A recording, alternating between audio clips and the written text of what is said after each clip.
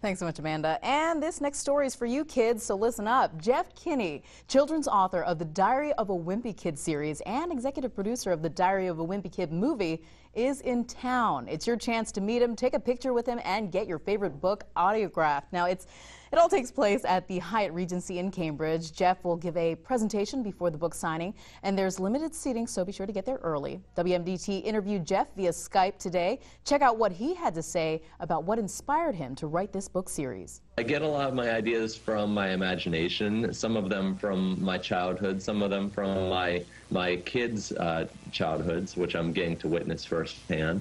Um, but it's great because a lot of the stories kind of came from my frame of reference of being a kid uh, in Maryland. Jeff's presentation starts at 11 a.m. and the book signing starts at noon. And coming up in two minutes.